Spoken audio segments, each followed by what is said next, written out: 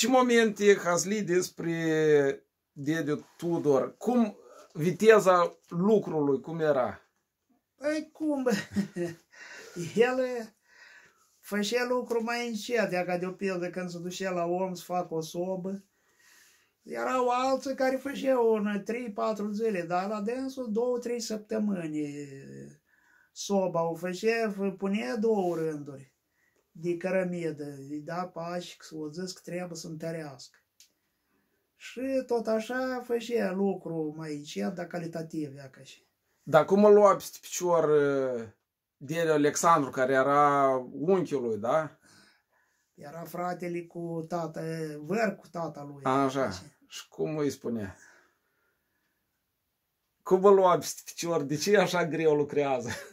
Da, și că mai că ea lui porecla era răcușor. Și mai era cu te duci că ți iam în casă, mănânci la oameni cu tine. Așa, așa, niște momente Da, mai momente hazlii. Da. Ok, dar uh, posibil că într-adevăr, uh, deci făcea lucru calitativ Da. și trebuia într-adevăr să Unele întărească. lucruri mai complicate, ia ca vă- pot să vă spun un caz. E, La noi e, colhozul a fost bogat, milionar. Au fost în sat mai în scurt e, toate cele și au fost e, oamenii harnici.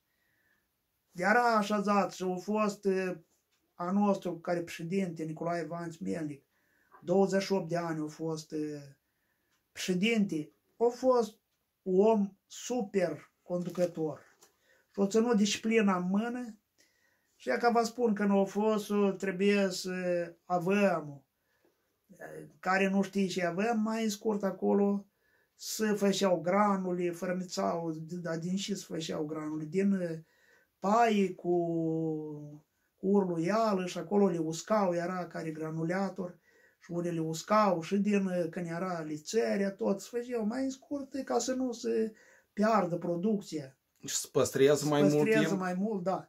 La noi doar au fost uh, O granulau și o uscau. Și E, așa au păstrau în fost, formă uscat. era complexul de vite de junci, era de 4500 aproape până la 5000 au fost. Și trebuia, cum, foraj mult, trebuia și... Și când au adus eh, granuleatorul, este granuleatorul, cum să spune, așa un cuptor rotund. Și el se învârtie. Făcea granule și Da, le granul usca. acolo cu, și, cu foc. Da. Și când trebuia, da, trebuia pe înăuntru îmbrăcat cu cărămidă uniu pornă, cum se spune. De, Că rezistentă la foc. Da, rezistentă la foc. Și, da, acolo tare complicat era, că dacă era rotund, acolo trebuie, cum, Trebuie să calculezi- cunoști. Da. să calculezi. Nimeni nu știe, nimeni nu s-a apucat. Mă, Dediu, Tudor, Răcșor, cum să spune, el nu m-a făcut. Greu au făcut, dar au făcut lucrativ și au ținut până la urmă. Nu s-o mai stricat, nu s-o mai scat, Da, defectat. da, făcea lucru destul de calitativ. Era meticulos și făcea Da. calitativ. Așa, Ajuns de bine. cap. Dar uh, mai era un moment când uh, mergeau împreună cu cineva să construiască o casă și el era... Păi da, când și eu ca de o pildă în sat, că nu numai la colhoz, dar sco- în anii, la sfârșitul anilor 50-60, mai tot satul s-a construit. E, Și de-am pe urmă s-a început și casa de piatră. Când el, e, când se duceau la casa de piatră, acolo era de lucru, duceau un, un patru să lucreze. Și erau meșteri, dar nu se apucau, nu luau asupra lor că să răspundă. Și numai pe Fegea, de pe Răcușor, el era... El își lua Da, el, responsabilitatea. răspundea, el răspundea de lucru, ia ca și Deci ridicau casa din Da. talp până... până în sus. Până în asta- sus. Da. Așa, bine. Următorul, Gavdiuc Ion. Ivan Davidovici. Așa. Tot a fost tot meșter în piatră bun. A fost meșter bun, tot construia case, le ștucaturea, era De meșter. tencuia, da? Și Da, avea și tencuia. albine. Da, au fost albinar, au fost cel la colhoz, au lucrat mulți ani, tot cu albinele, că colhozul nostru a avut stup de albine, au fost albinărie. Mhm. Și el răspundea.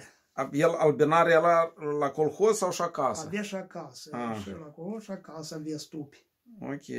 Dar cine mai avea în sat uh, albini? Așa, Albine printre altele. Au fost e, Cărăruș e, Miron, Așa. Și apoi au fost uh, Lupașcu Petru, care e pe Loramș, cu care l-am numit. Tot au avut uh, uh, Maximciuc Petru, au avut tot albinărie.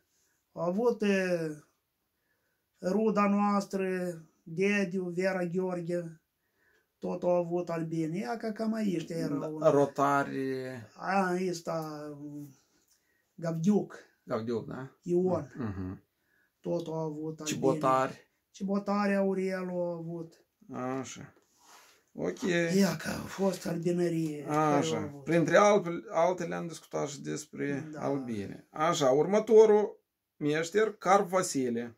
Car Vasilie acesta lucra în piatră, el era zidar de casă, care apropo a lucrat tot cu, cu Dediu, tot cu Împreună. Recușor. Ca meșter cum era? Era foarte bun, era și lucra repede, lucra constructiv, Repede și calitativ. calitativ. Așa, bravo.